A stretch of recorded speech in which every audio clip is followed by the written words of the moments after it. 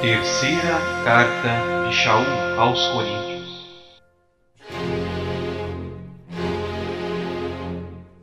De Corinto para Shaul.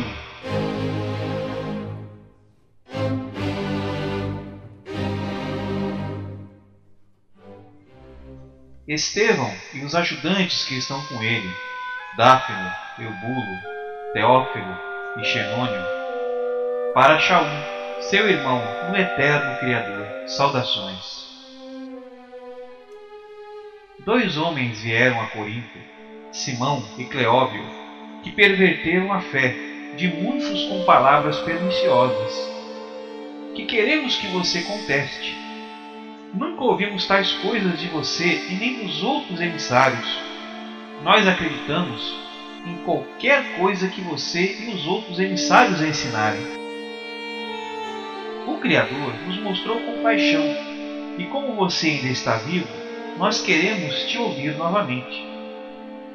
Por favor, nos escreva ou venha nos visitar.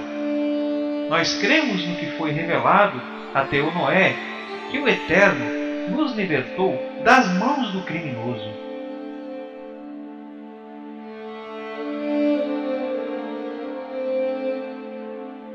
O que eles ensinam é o seguinte: Primeiro, não devemos recorrer aos profetas.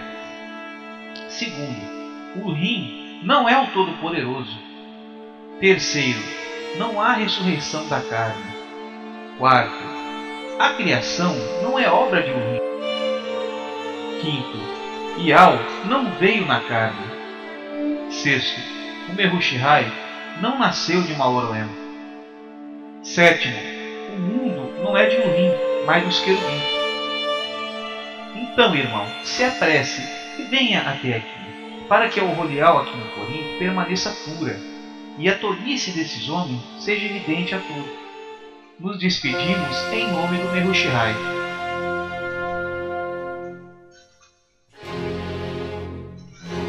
De Shaul a Corinto.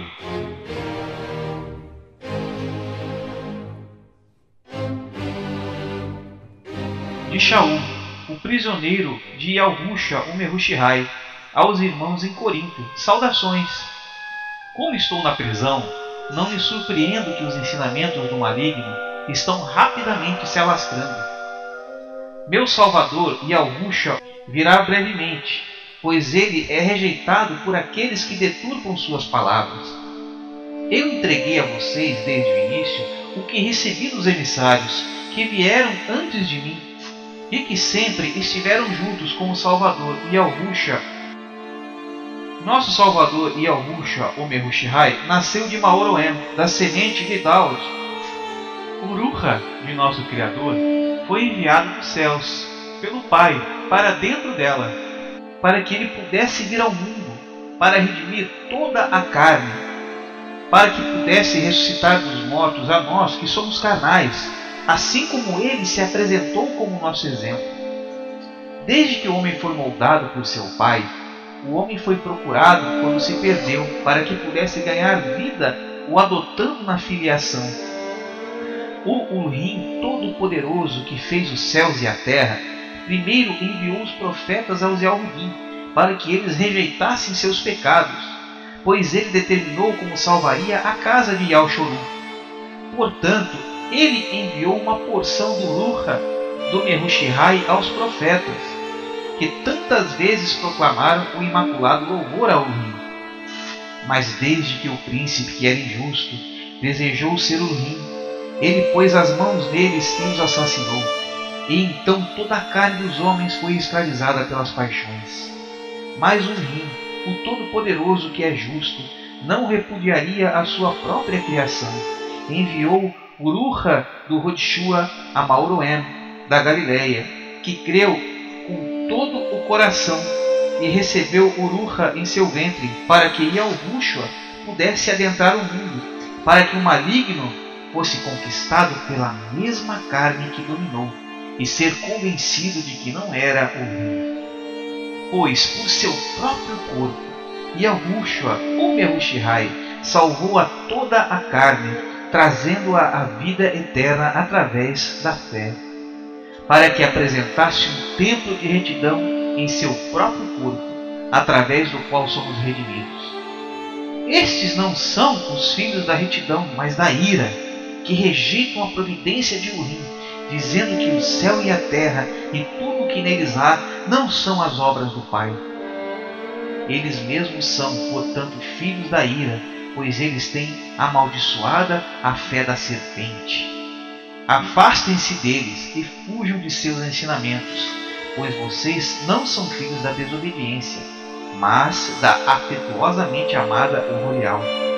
É por isso que o tempo da ressurreição é proclamado. E quanto a estes que dizem que não há ressurreição da carne, para eles não haverá ressurreição, que não creem nele que ressuscitou. Vocês, homens de Corinto, devem compreender que eles não sabem a respeito do trigo e de outras sementes, que elas são jogadas nuas ao chão e, quando perecem no solo, são novamente levantadas pela vontade de um em um corpo revestidas. O corpo não é apenas levantado, mas abundantemente abençoado.